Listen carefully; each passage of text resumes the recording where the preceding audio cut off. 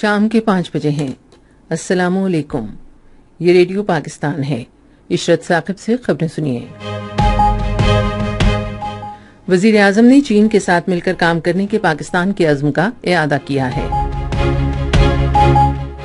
نجکاری کے وزیر نے کہا ہے کہ پاکستان اور روس کے درمیان مختلف شعبوں میں مشترکہ منصوبوں کی وسیع گنجائش موجود ہے۔ وزیر اطلاعات نے کہا ہے کہ عالمی برادری ملک کی اقتصادی پالیسی کی مترف ہے۔ بھارت کے غیر قانونی زیر قبضہ جموں و کشمیر میں قابض فوج نے گزشتہ ماہ کے دوران ریاستی دہشت گردی کی مسلسل کارروائیوں میں سترہ افراد کو شہید کیا۔ خبریں اب تفصیل کے ساتھ۔ وزیر اعظم شہباز شریف نے عوامی جمہوریہ چین کے پچہترویں یوم تاسیس کے موقع پر چین کے صدر شی جن پنگ وزیر اعظم لی چیانگ اور چین کے عوام کو مبارکباد پیش کی ہے۔ انہوں نے سماجی رابطے کی ویب سائٹ ایکس پر ایک پوسٹ میں کہا کہ ہمیں صدر شی جن پنگ کی بصیرت افروز قیادت میں چین کی شاندار ترقی اور کامیابیوں پر فخر ہے۔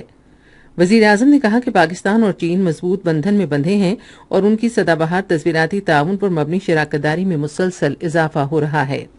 شہباز شریف نے کہا کہ پاکستان اور چین ایک خطہ، ایک شاہراہ منصوبے کے تحت سی پیک کی کامیابی یقینی بنانے کے لیے مکمل طور پر پرعزم ہیں۔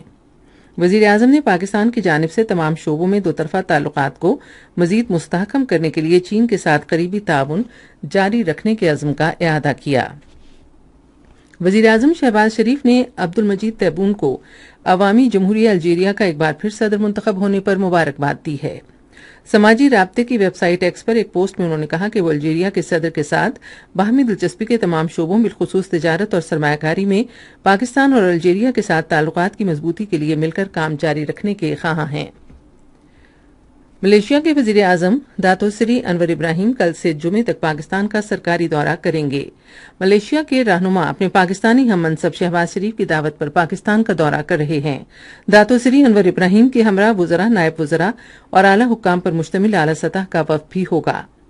دورے کے دوران وہ وزیر اعظم محمد شہباز شریف سے ملاقات کریں گے۔ فریقین، تجارت روابط، توانائی، زراعت، حلال صنعت، سیاحت، ثقافتی تبادلوں اور عوامی رابطوں سمیت مختلف شعبوں میں پاک ملیشیا تعلقات کو مزید مضبوط بنانے کے وسیع ایجنڈے پر تبادلہ خیال کریں گے۔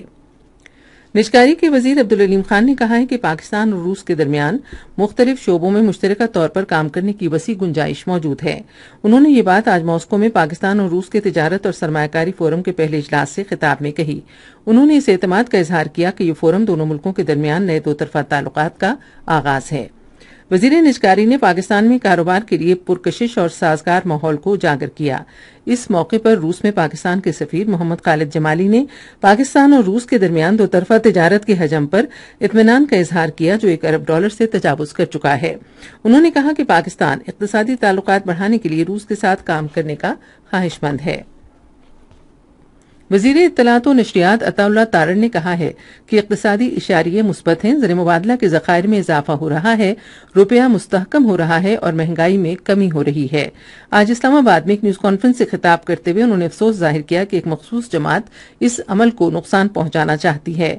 انہوں نے کہا کہ یہ جماعت اپنے مقاصد میں کبھی کامیاب نہیں ہوگی۔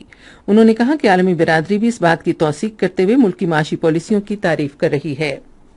یونیسف کی ایگزیکٹو ڈائریکٹر کیتھرین رسل نے لبنان میں تیزی سے بگڑتی انسانی صورتحال سے نمٹنے کے لیے خوراک اور ادویات کی فراہمی کے عزم کا اعادہ کیا ہے۔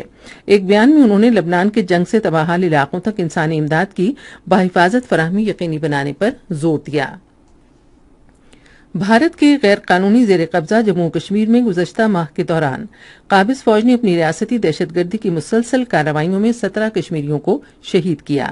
کشمیر میڈیا سروس کے شعبہ تحقیق کے جاری کردہ تازہ ترین اعداد و شمار کے مطابق، شہید ہونے والوں میں چودہ کشمیریوں کو ماورائے عدالت اور جعلی مقابلوں میں شہید کیا گیا۔ اس کے ساتھ ہی اب تک کی خبریں ختم ہوئیں۔ مزید خبروں اور تجزیوں کے لیے ہماری ویب سائٹ ہے radio dot G O V dot P K اور آپ فیس بک کے link radio Pakistan news official پر براہ راست ویڈیو اسٹریمنگ بھی ملاحظہ کر سکتے ہیں۔